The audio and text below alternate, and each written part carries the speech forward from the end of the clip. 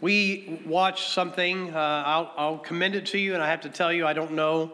Um, I'm probably going to get in trouble because I don't know who puts it out. Uh, but there's something out there called John 1010. It's called the John 1010 Project. And uh, so far, what they presented is, uh, I think, really good. What they do is a lot of cinematography to capture a lot of times nature in space and explain the nature of who God is and what He does in the world. And uh, we sometimes watch that as a part of our Bible time to, to see what God's doing in the world and to see evidences of God's hand. And this last one we watched was about spring. And so if I was to ask you, what is your favorite time of year? What would your favorite time of year be? Well, uh, some, some, uh, you know, would even say winter. Something's wrong there. Um, some people say, well, I really love snow. okay, there are those people, I guess. Um, Matter of fact, in Pinedale, Wyoming, I was talking to Pastor Ted York this morning. Uh, it's snowing in their service right now. Uh, uh, well, not in their service, but out. there. so they've got like they've they've had already three inches, and it's still snowing as they are welcoming spring in Wyoming. So praise the Lord for Idaho. anyway, um, but you know, spring for our family. We got done watching the the video about spring, and it was talking about the flowers and God's uh, creation. Our family chimed in that spring was their favorite time of season. I know that it's my wife's favorite time of season. Uh, the, I think it brings to us hope, the encouragement of our expectation, right? You, uh, the expectation. What is what is it that we're really expecting with with spring? Well, we're expecting that snow will stop and that cold weather will stop. And uh, you know, while I love the flowers that come up in spring, there are also weeds that come right there with them, right? So. Uh, I, am already behind, already behind the curveball, but trying to catch up on that. And, and, and I think the expectation that spring is is just that. And it's, it's true that each season has its blessing, but it is also true that in, a, in the winter months, it, it is really symbolic of, of lack of life for all the trees that lose their leaves and, and remain there stark through the winter.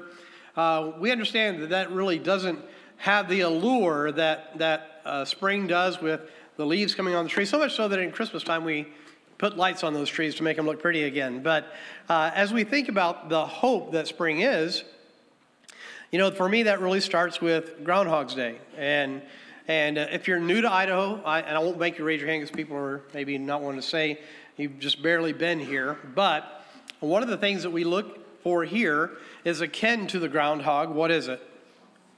What is that thing I'm, I'm talking? Some of you are saying it. What is it? It's a rock chuck. The first time you say that to somebody that's not from Idaho, they're, they look at you sideways. What do you mean, rock chuck? What are you talking about? Well, it's basically like a groundhog. I look for them every spring. They come out in February and they hibernate. They go to hibernation around July, August. Uh, and they, so they hibernate, hibernate about six months of the year. But I look to that because it begins to give that hope that spring's coming. It's getting there. It's getting there. As Christians, we have hope that is much more enduring than what the weather might be today or tomorrow. And uh, God's given us a beautiful day for Easter Sunday, right? Yeah, praise the Lord for that. And by the way, want to encourage you if you haven't, if you want to be in the directory and and uh, haven't been or don't know about it, they're taking pictures for that today. Um, it's a beautiful day to, to celebrate the Lord and to celebrate His goodness. And, and we're turning here to 1 Peter chapter 1, and we read about the hope that we have as Christians. The hope is in the gospel and what Christ has done on the cross. We look at verse 3, and I'm going to ask us to read out loud. If you don't have your Bible with you, that's fine. People next to you be reading, I, I hope. If you've got your Bible app or your Bible there, 1 Peter chapter 1, verses 3 through 5, would you read that out loud with me? Blessed be the God and Father of our Lord Jesus Christ, which according to his abundant mercy hath begotten us again unto a lively hope by the resurrection of Jesus Christ from the dead.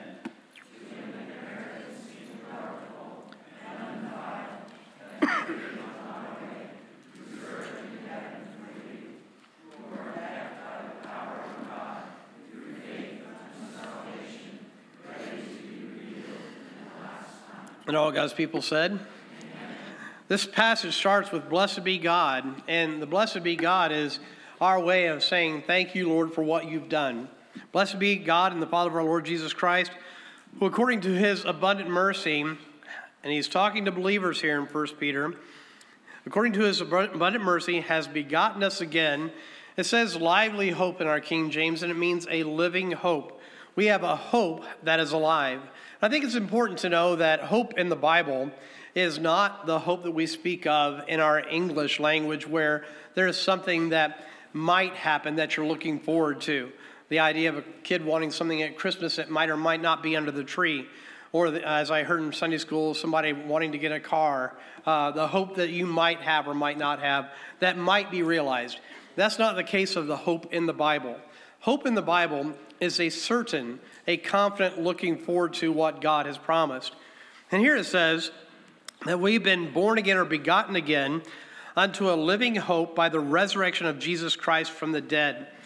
And because of Christ's resurrection, we have hope for what our future has in store. We have hope because of what God has promised. Now, it's interesting as you study about Easter Sunday, Resurrection Sunday, when it is celebrated, and it's actually got a, a month window. And if you go back and do research on it, there's debate on exactly when it should be celebrated. We know from the Bible that we have those that celebrate one day over another and some um, that don't. We, as Christians, recognize that we come together to worship God and have a church to come to to worship God because of what Christ did on the cross. In other words, if it wasn't for Christ, we wouldn't have a church at all. We wouldn't be gathered here. So every time we come together as God's people, we are really reflecting what Christ did for us on the cross and bringing us into the family of God. And we want to then come together to worship Him. That's why this passage, I think, starts with the idea of blessed be God. But He's given us new birth and a living hope by the resurrection of Jesus Christ. And it goes on to say that there's more in store for us in that hope than just being rescued from hell. It says it in this way in verse 4 to an inheritance incorruptible and undefiled, and that fadeth not away, reserved in heaven for you. So God tells you that He's got something in store for you beyond this life, and that is more, again, than just rescue from hell. He's got an inheritance for you. If you do a Bible study on heaven, which we're not going to do this morning, we'll talk about it. But heaven is so much greater than anything that we are living for here. So we have a hope because of the gospel, because of Christ. It ends in verse 5 where it says, We are kept, those who know Christ, are kept by the power of God through faith unto salvation, ready to be revealed in the last time. And here's the idea when someone comes to know Christ as their Savior, He secures their soul in heaven and they are kept by the power of God. Now, salvation is something that you lay hold of when you leave this world behind. But for the believer, God promises that you get everlasting life upon the moment of trusting Christ as your Savior. A verse that most people know here is John 3:16. You know that verse? Say it with me. For God so loved the world that he gave his only begotten son that whosoever believeth in him should not perish but have everlasting life. 1 John 5, 11 through 13. Uh, I'm not going to read that passage, but verse 12 in the middle of that says this He that hath the Son hath life. And he doesn't say is going to get life, but they have life right now, and that life is resurrection life, eternal life, the living hope life that comes through the resurrected Christ. So we have hope because of Christ. Now, I'm not supposed to do this. I'm not supposed to necessarily focus on our, myself here when I'm preaching to you. But how did your night go last night? How did your night go? I can tell sometimes how your night went by how you're doing right now. um, for whatever, you ever have those nights where you cannot sleep? So uh, it was like that for me last night. Now, I, I, I, some of you don't know my story, but I, I was in a car accident some time ago, and so I've got a pretty highfalutin bed, which vibrates, raises front end, raises the lower end. It's got it's got um, Bluetooth capability. I can charge my phone it does everything but heat my coffee, which I'm blessed that my kids do for me every, every morning pretty much. Uh, but I told my wife when I got up this morning, I put that bed through its, through its uh, paces last night in every position, trying to find a way to go to sleep. And uh, a whole lot of stories behind that. But I, what, I'm, what I'm reminded about is this, and there's a lot of people that deal with things one way or another. And, and, it has to do with pain and suffering, right? And, and there is pain and suffering in the world. And our world experiences that and knows that and feels that. But there's a rescue, and that rescue is Jesus. So we're turning to 1 Corinthians chapter 15. We've got a lot of passages to read this morning. 1 Corinthians chapter 15, we have hope because of our resurrected Savior. And because of our resurrected Savior, we know that this life is not all there is. Now, I want to be careful as we move forward. Everybody, look outside that window right now. Look out there. Does that look like a good day? I mean, especially if you think about Pinedale getting snowed on. You look out there, it has all the hope that spring is. Matter of fact, you've seen the trees that are that are uh, that are getting the flowers on them now, right? It's just a beautiful time of year. It, it, it, it speaks of the life that is coming in the spring. Our lives are like that, that we have a hope that we're going to have a resurrected life because of Jesus. 1 Corinthians chapter 13 in the Bible, a little something for you to tuck away. We're not turning there. 1 Corinthians chapter 13 is known as the love chapter. 1 Corinthians chapter 15 is known as the resurrection chapter. so we're in 1 Corinthians 15. Moreover, brethren, I declare unto you the gospel, which I preached unto you, which also ye have received, and wherein ye stand, by which also ye are saved. The gospel is how people get saved. If there was no gospel, people would not have a way of salvation. We're going to see about that gospel here in just a moment. If you keep in memory what I preached unto you, unless ye have believed in vain. Believing in vain has the idea of not really meaning it, not really following Christ, it maybe even giving lip service, maybe even give the head knowledge. And by the way, through the history of this church, there have been plenty who who said that, that they knew Jesus and, and today are not walking with him, and they would be those that the Bible says that many in the last day will say unto me, Lord, Lord. And yet he says, I never knew you. So the hope of the gospel is for anybody who truly believes. Well, verse 3 I, I delivered unto you, first of all, that which I also received, how that, what did Christ do? Read it out loud. Christ died for our sins according to the scriptures. Why did Christ die? Why did Christ die? It's right there. Why did he die? for our sins. He died to make reconciliation for us. He died to cover all the sin debt that you and I have against Christ. All the things that would keep us out of heaven. Christ died for all of that, every last sin that you have ever done. And by the way, while we still breathe, every last sin that we will commit here in this vapor of a life. Christ died for our sins. Now, how important is the gospel? It's important enough to know that God's plan of the gospel was in place before He ever made the world. But He made the world, and people want to argue with God. Well, why would God make a world that could sin, and why would God do this? I'm just going to tell you that many times those questions are a reflection of our sin nature. That instead of seeing God's good hand John 3 17, for God sent not his Son into the world to condemn the world, but that the world through him might be saved. Instead of seeing God's good hand, they say, well, if I was God, I would have never done that. But there's a way of salvation that God has made and God has declared. It's called the gospel. And Christ died for your sins so that you might have the opportunity to be saved. And I know that in the heart of man, arises all these questions and accusations against God. But it's important enough that God not only ordained before the world began the nature of the gospel, the path of the gospel, but Christ put on human flesh, according to Philippians chapter 2, and went to the cross and suffered and died for you and for me because you and the gospel plan were that important to him. And he dies not for his own sin, but he dies for you. And he dies for you, not just so that you can be a flower plucked from the field and put it in the vase of heaven, but instead, as a living eternal being, he rescues you from hell and gives you life where you will have a new body forever with the Lord redeemed. Now, he says he died according to our sins, according to the scriptures, verse 4, and that he was buried, and that he rose again the third day, again, according to the scriptures. So we are celebrating Easter Sunday, Resurrection Sunday, because there is a Savior. Because Christ did rise from the dead. Now, again, people would argue, well, how do you know it's true? It's, you know, the Bible is just a conglomeration of people's thoughts. Well, that's a deeper study. But I will tell you that you have Paul's reiteration of the witnesses that prove that Christ was risen from the dead. I think, I think it's very interesting. And again, it just gives the window into heart, the heart of man that is, again, sin stained, wicked, and willing to rebel against God, where we'll believe that there was uh, George Washington, we'll believe that there was uh, an Adolf Hitler, we'll believe that there was uh, Pontius Pilate, or we'll believe these other figures in history, but we'll decide not to believe Jesus. Well, listen to the witnesses. Listen to the witnesses in verse 5.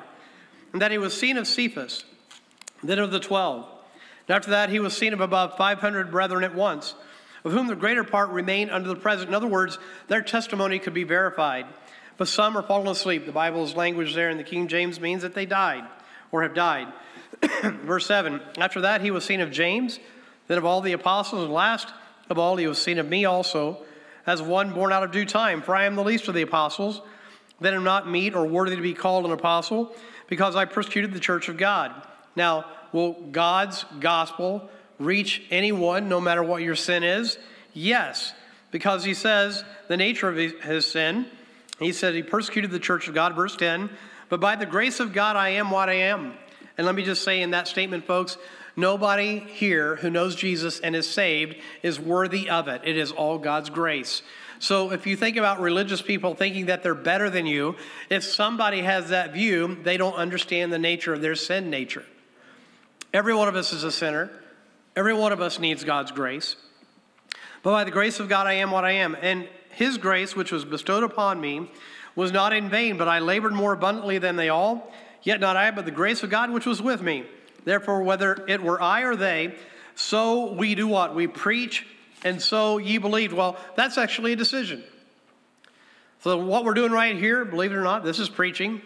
Some do it with more fire, some do it with uh, less fire, but this is the declaring of the message of the gospel. But it's up to you what you do with it. It's up to you what you do with the message. Verse 12. now, if Christ be preached that he rose from the dead, how say, same, how say some among you? that there is no resurrection of the dead. But if there be no resurrection, let's play that game. If there be no resurrection of the dead, well, then Christ is not risen. Well, you got a problem with that because he just laid out the witnesses that he was risen. But if Christ be not risen, if we're going to go down that path, then is our preaching in vain? Our preaching is vain, and your faith is also vain. Yea, and we are found false witnesses of God, because we have testified of God that he raised up Christ, whom he raised not up, if so be that the dead rise not. For if the dead rise not, then is not Christ raised. If Christ be not raised, your faith is in vain, and ye are what? Yet in your sins. Then they also which fallen asleep or have died in Christ are perished. Verse 19, everybody read that out loud if you would. Verse 19, if in this life only we have hope in Christ, we are of all men most miserable. Why? Because you would be living a lie, living under religious structure when there is no Savior. And you have a conjunction in verse 20. But now is Christ risen from the dead. Again, witness, testified by those who were even living at Paul's time that could be asked of their own testimony and witness. He says, and become the first fruits of them that slept. For since by man came death, this is talking about Adam and the original sin, by man came also the resurrection of the dead. For as in Adam all die, even so in Christ shall all be made alive. And the all be made alive is whosoever will. If you want to be saved, the only thing preventing you from being saved is your heart's disposition in turning to faith in Christ or not. But it's your call, it's your decision. 1 Corinthians 15, further down, verse 50, we read this In the hope that we have before us, and the hope that Christians have. Now, before I go there, the longer you live, the more you're going to know that this life is not all there is. And the more you're going to experience the frailty of your life and the groaning of your flesh. It's the nature of all things. Uh, I've often said this because uh, it was my first senior witness to uh, being a senior. And I've often given his name. His name's Benton Bell. He was a fiery uh, three piece suit, five foot three, uh, uh, 90, I think, three year old at the time. And whenever I shook his hand, he would, he would shake my hand like he was, you know, 18 and, and working out. And he would shake my hand and I'd say, Brother Benton, how's it going? And he said, Every day is like wrestling an alligator to get out of bed. and as a young man, I'm like, oh, okay, brother? Yeah, what? I don't even know what that means, but okay. You live long enough, you'll know it. As we've often said, growing old ain't for sissies. But growing old is the telltale of time, the telltale of clock, the telltale that there is going to be a time where you're going to breathe your last breath and you're going to stand accountable before God with what you did with Jesus. So the gospel is preached.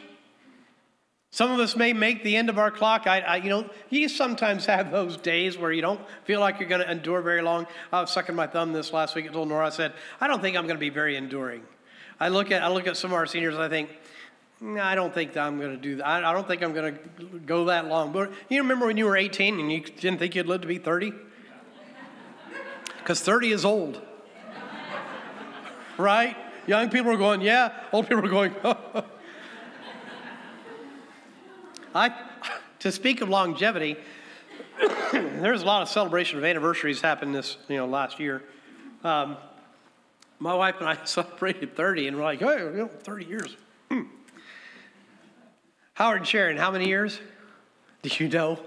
Put you on the spot there, didn't I? Yeah, 68. So when I say married 30 years and I hear them say 68, I, I, I kind of think them, in my mind's I hear them saying, kid. right? Kid, you got a ways to go yet. But the truth is, the older we, the older we go, the longer we go, the more we know that this body was not meant to live forever on this planet. And not only do you know that it was not meant to live forever, you begin to find those things in your body that are breaking down and breaking down and breaking down.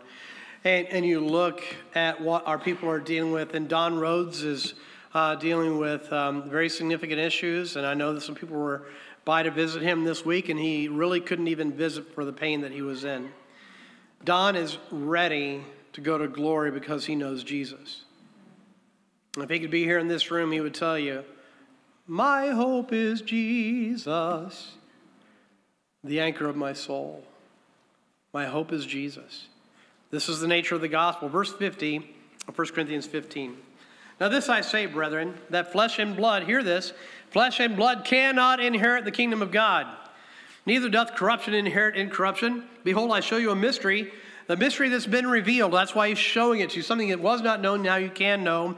We shall not all sleep or be dead or in the grave, but we shall all be changed. Read it out loud with me, verse 52.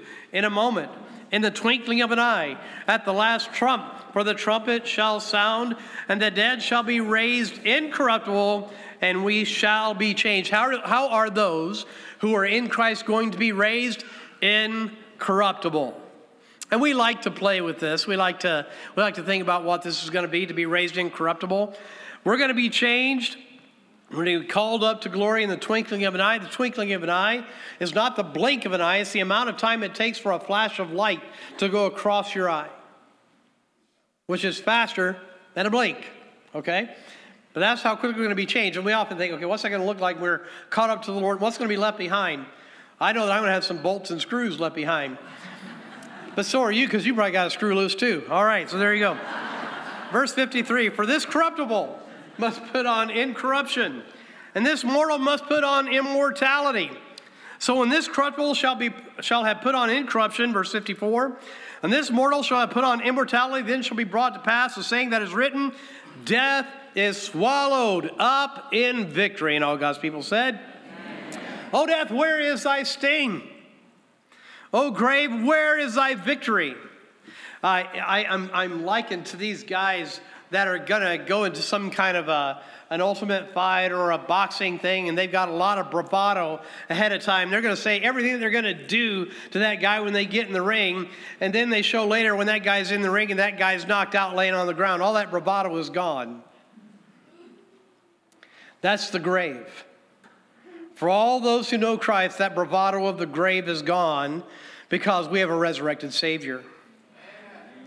O death, where is thy sting? O grave, where is thy victory? The sting of death is sin, and the strength of sin is the law, but thanks be to God. Let's read verse 57, 58 out loud. Verse 57, 58 out loud. But thanks be to God, which giveth us the victory through our Lord Jesus Christ. Therefore, my beloved brethren, be steadfast, unmovable, always abounding in the work of the Lord, for as much as ye know that your labor is not in vain in the Lord. And why is it not in vain? Because there really is a God, there really is a Savior, there really is an eternity, and you're going to stand before Him. And those who are giving your life to Christ and serving Christ with your life, God remembers it all. Our hope, our faith, is not in vain. All that is the introduction to today's message in Matthew chapter 16. The backdrop of our message this morning is the hope that we have in Christ, our resurrected Savior. Now, by the way, those are visiting and say that's his introduction, don't be nervous. I know I got next Sunday, so, uh, well, I think I've got next Sunday. And if I don't, Pastor Phil's got next Sunday. Here's the notes, brother. Change them, right? Matthew chapter 16. All right, so what have I just given as a backdrop? I've given as a backdrop the hope of the gospel. The hope of the gospel, because of resurrected Christ, we have hope. And hope that is a living hope, an encouraging hope. So, men, it's not, it's not being feminine to like flowers, okay? So you can you can like flowers in this moment.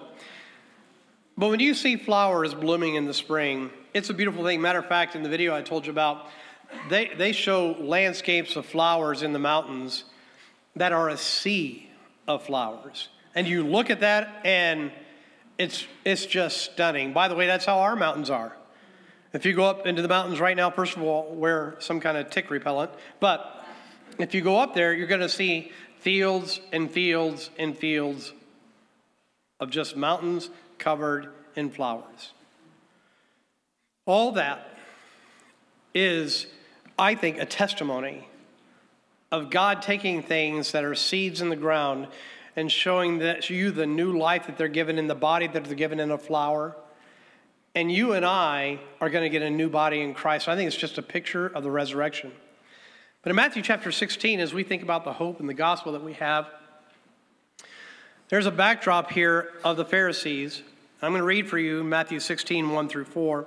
The Pharisees also with the Sadducees came and tempting desired him that he would show them a sign from heaven. He answered, said unto them, When it is evening, ye say, It will be fair weather, for the sky is red. And in the morning it will be foul weather today, for the sky is red and lowering. O you hypocrites, ye can discern the face of the sky, but cannot but can ye not discern the signs of the times? A wicked and adulterous generation seeketh after a sign. There shall no sign be given unto it, but the sign of the prophet Jonas. And he left them and departed.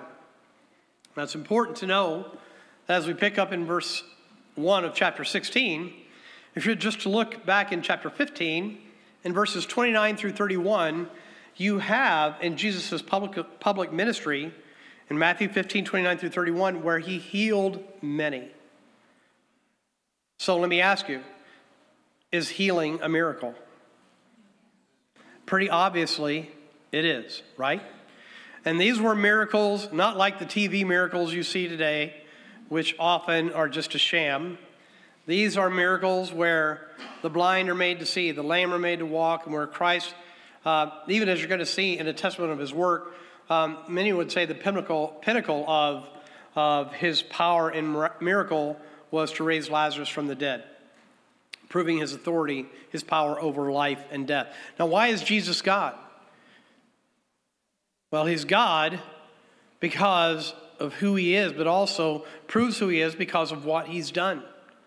Nobody else has the power to raise the dead to give life and to take it away and to raise it again, except for God. So he proves who he is.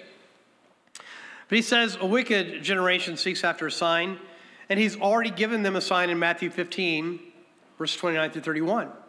But also in verses 32 through 39, he had fed 4,000 people with fish and bread that were uh, just a few, and then breaks them and feeds thousands. In other words, made food out of nothing, out of these fragments, and he makes enough to feed thousands. So, was his or were his miraculous signs witnessed by the Pharisees and Sadducees? Well, that's not a trick question. They knew what he had done. Some commentaries say, especially because what is said in verse 1 or verses 1 through 4 of chapter 16 follows these miracles of Matthew 15, that really what they wanted him to do was just to feed everybody again and to have the, the temporary benefit of a meal. Regardless, uh, in verse 5 of Matthew 16, we pick up again his disciples were come to the other side. They had forgotten to take bread. Jesus said to them, Take heed and beware of the leaven of the Pharisees and of the Sadducees. Now, it's going to bear out what he means here, but in verse 7, and they reasoned among themselves, saying, It is because we have taken no bread, which when Jesus perceived, he said unto them, O ye of little faith, why reason ye among yourselves because ye have brought no bread? Do you not understand, neither remember the five loaves of the 5,000 and how many baskets ye took up? Neither the seven loaves of the 4,000 and how many baskets ye took up? And what's he asking? What's he asking? Do you not remember the miracle? Did you have proof? Is there sufficient evidence to prove to you who I am and what I've done? Do you not remember? How is it that you do not understand that I spake it not to you concerning bread, that ye should beware of the leaven of the Pharisees and of the Sadducees? Then, verse 12, they understood then understood they how that he bade them not beware of the leaven of bread, but of the what? Doctrine of the Pharisees and of the Sadducees. So here's where we are this morning. The majority of this planet does not believe in Christ. The majority of this planet either denies him, denies God altogether, atheists, or says you cannot know there's a God, agnostics, or worship some other God of their own making called idolatry. While there has been historic and testimonial proof and witnesses of the works of Jesus, and Jesus says, in particular, I think in our application this morning of what we see, Beware of the false doctrine of the religious people around you. And by the way, I'm going to give a broad net to that religion. Atheism is a religion, it's a faith and a hope. Even I, I just listened to some debates of atheists denying Christ and not wanting to use the word faith. And they were using the word confidence. And confidence comes from the word confide, which is Latin to have faith. But they have faith in what they're believing, and they want to dissuade you from your belief. They want you to follow them and deny Jesus. And the whole world around you is going to make that an expression of their belief. And Christ says the same thing to you in this passage that he would say to his disciples Beware of the doctrine of the Pharisees and the Sadducees. Beware of what you believe. Beware of the influences that come into your, your life and say, oh, I know all these people that don't believe in Jesus, and I was raised around that, but you know, I don't need to believe that because so many people don't. It's just a bunch of made up stories. You know, the truth is, God has given all the evidence you need and will hold you accountable to the evidence that He's given so that you have to step over what you know to be true of God to believe something else. And that accountability will be in the day of judgment. So the gospel is given not to condemn you, but to save you.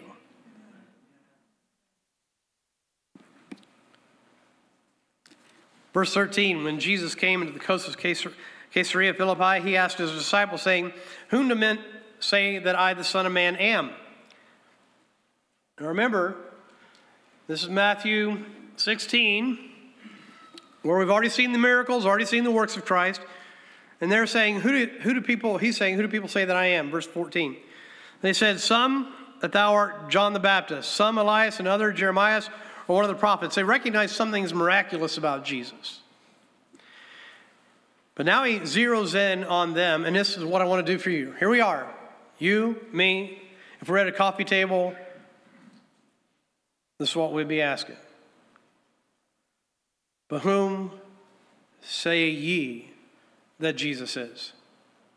That's a question of the destiny of your soul. Whether you're going to have the hope of the gospel or the terror of judgment. It's your answer about Jesus. Simon Peter in verse 16 answered and says, Pastor Phil read this, Thou art the Christ. The Christ, the word Christ meant the Messiah. It means the one that was to come, that was prophesied. It's not just his name, but it's his title as the prophetic one who fulfilled the coming of the Savior. Thou art the Christ, the Son of the living God. And Jesus answers Simon Peter and says unto him, Blessed art thou, Simon.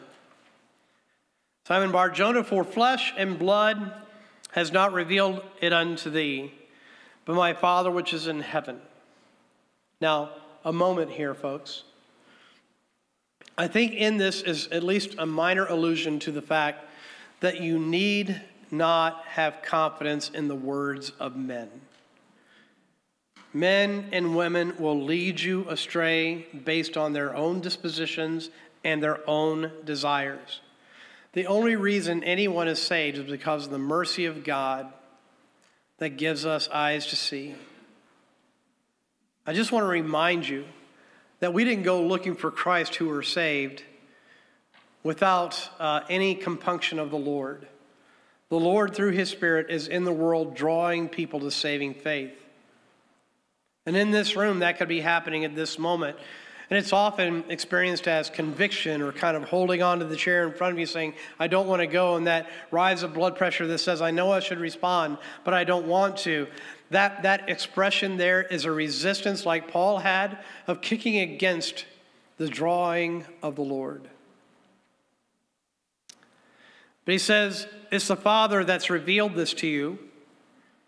It's a grace and mercy that the Father does. And in verse 18, and I say also unto thee that thou art Peter, which we know to mean, his name means little rock or pebble. But he says, then upon this rock I will build my church. And it's my belief that he's using language, a play on language, to talk about the little rock of Peter, but also the big, big rock of his confession. So it's upon the statement, because the church isn't built on the little rock of who Peter is, it's built on the big rock of his statement of confession about Christ. Thou art Peter, and upon this rock I will build my church. And the gates of hell shall not prevail against it, and I will give unto thee the king, the keys of the kingdom of heaven. What are the keys of the kingdom of heaven? It's the gospel. And whatsoever thou shalt bind on earth shall be bound in, in uh, shall be bound in heaven, and whatsoever thou shalt loose on earth shall be loosed in heaven. Then charged he his disciples they should tell no man that he was Jesus the Christ. From that time forth began Jesus to show unto his disciples how that he must go unto Jerusalem and suffer many things of the elders and chief priests and scribes. Would everybody now read the last part of this verse, verse 21, out loud? Ready? And be killed and be raised again the third day. Did Christ make this known to his disciples ahead of time? This isn't the first time that he testifies of the death that he's going to undergo. But as far as I could tell, this is the first time that he references his resurrection. And he tells them he's not only going to die, but he's going to rise again. And I want everybody to know here that this is God's plan of redemption. That God, the Father, would give of himself through the person of the Son, the eternal God, Jesus Christ who puts on human flesh and he lives a sinless life because he's God. And he suffers on this planet, especially and in particular in relation to his public ministry. Christ is falsely accused, he's beaten, he's scourged, His blood flows. He has a crown of thorn, thorns beaten upon his brow. He's spat upon. He's mocked. He's ridiculed. And in John chapter 3, verses 19 through 21, and in John chapter 1, the very first part of the passage there, we read that Christ came unto his own, and his own received him not. And the reason people didn't receive Christ is because their deeds were evil.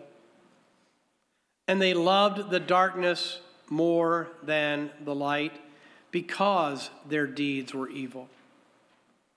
But Christ came anyway.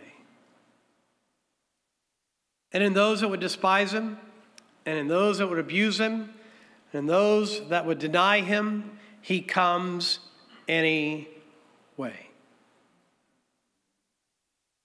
And so he demonstrates his love to the world. He commends his love toward us in that while we were yet sinners, in the midst of our sin, practicing our sin, Christ dies for us. It's my contention that when Christ was taken to the cross, and was, I don't want to confuse you, I don't want to tear your picture down of what the cross was. Um, often the cross is displayed as what's exactly behind us. We're familiar with this picture where the hands are laid out upon the cross, and, and this very much, very well, much be the way may be the way in which the, Christ, the cross was laid out. Others say that the cross was just a pole where hands would be uh, nailed above someone's head. Either way, Christ comes to the cross. And when Christ is having his hands and his feet nailed to the cross, I don't believe that the soldiers came and ripped his arms away from his body, stretched them out, and nailed. I believe that Christ willingly laid his hands out for those who were even nailing him to the cross. He does it for them, but he does it for you. We don't make sense as human beings. We often can't see the plain truth that's right in front of us because we don't want to. You could argue over, well, why did God establish that free will would be part of the gospel? That you would have to decide to believe on Jesus. Why did God make it that way? You know, I can only suppose, but I'm going to suppose in front of you that God gave you a choice because He wants you to choose to come to Him and choose to receive His grace and choose to receive His forgiveness out of the expression of love that He's given to you. But this is a decision that everyone must make. It is His plan. It is how God takes a sinner and makes them fit for heaven when they on their own would never be. Romans 1 16 and 17 is a verse, or a couple verses we often quote here or say here. It says, For I am not ashamed of the gospel, for it is the power of God unto salvation to every one that believes, to the Jew first, and also to the Greek, to everyone. For in the gospel, for therein is the righteousness of God revealed from faith to faith. As it is written, the just shall live by faith. So not only we come to Christ in faith, but we believe in heaven by faith. We believe in our redemption by faith. We believe in the hope that's in front of us by faith. And in this room, you either believe or you don't, but He offers for you to believe. Now, interesting, if we go back to Matthew 16, look at the next two verses. Our time's almost done. A little bit of hope there. Our time's almost done. Then Peter took him. Now, this is what Christ has just announced, and he just said, Blessed art thou, Simon Barjona. Christ says he's going to die, he's going to go to the cross. And I think that all that Peter hears is his death. He doesn't seem to hear his resurrection because he says Peter took him and began to do what? He rebukes the gospel, saying, Be it far from thee, Lord, this shall not be unto thee. What, Peter? That I'm going to die? Do you not hear the rest of the statement that I'm going to rise again? It seems to be lost on him. But listen to the adamancy of Christ's declaration of his will to go to the cross. He turns and says unto Peter, Get thee behind me, Satan, for thou art an offense unto me. For thou savorest not the things that be of God, but those that be of men. And this, folks, is the difference between those who come to Christ in salvation and those who are lost. Who are you going to listen to? God has given his evidence of his creating hand all around the world. The evidence of God is quite plain to see. Scientists, and, and they're out there, they're not hard to find. Scientists who still don't want to believe will still tell you that the Darwinian model is impossible. Did you hear me? Secular scientists will admit that. And all the while, you still have people saying uh, and believing in evolution and, and denying God. So it may be the popular model, but it doesn't make it true. How do you know the gospel is true? Because of Jesus, because of his resurrected life. I have a couple other passages to read. I'm not going to read them I'm just going to reference John 65, excuse me, John 6. There is not a John 65, okay? In John 6, 35 through 40, I'm not going to read it. I'm just going to give you the last verse, verse 40. It says, And this is the will of him, Jesus saying this. This is the will of him that sent me, that everyone which seeth the Son and believeth on him may have everlasting life. And then he says this and I will raise him up at the last day. This is the hope of the gospel. It's what we're celebrating today. So, we're not celebrating Easter bunnies as the Savior. If you have Easter bunnies that are chocolate, enjoy them. If you really have Easter bunnies that are not chocolate, I have some recipes and you can enjoy them too. Bethany if you're watching, forgive me, for I have sinned. If you have Easter egg hunts and you put candy in them and you enjoy uh, the fun of that, great, but we are not celebrating Easter eggs as what saves us. That's not what this is about. The truth is, there's a church at all because there's a resurrected Savior. And this church stands here as a light and testimony of the risen Christ. It's why, though this is not an idol, it's a symbol, and the symbol has no figure of Christ on the cross because he's risen. Amen. He died once for the sins of all mankind. And we do well to remember the price of the cross and know that salvation is not easy. Salvation may be easy for you, but if you look at the complexity of the timing and will of God and prophecy and all that Jesus did to purchase your redemption, it is far, far, far from easy. But it's offered to you because Christ paid it all. There's coming a day where all who know Jesus will leave this world behind either by death or by resurrection, the coming of Christ. And he says, For all who believe, you are his children. And he's going to welcome you home to heaven. And I thank the Lord for the joy that's in front of me someday when I get to go to heaven. Somebody said this, and we are done. Somebody said this today because they knew I was sick again, and you knew who you are who said it. I'm trying to find you in here wherever you are. You said you probably should take your vitamins, Pastor Jeff. I just respond with this I'll betcha there are no vitamins in heaven.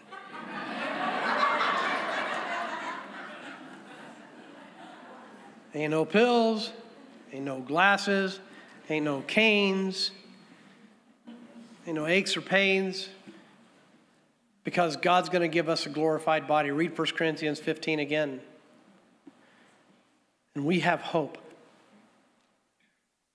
But lest I give you the idea that Christians are just living for the hope that's after this life, I just want to give a testimony and we're done, and to say, I would sure hate to live this life without Christ in my life. I would hate to think that the next pleasure is all I've got, that the next acquired thing is all there is. Because I don't care what it is, it's going to rust, dent, scratch, break, because nothing in this world is eternal except for the soul that God's given you. And it's going to be somewhere forever. So, with all that I know how to do as a preacher of the gospel, I entreat you and I beg you in Christ's stead receive the gospel, place your faith in Christ, know him as your Savior, and know the goodness of God who loves you before you loved him.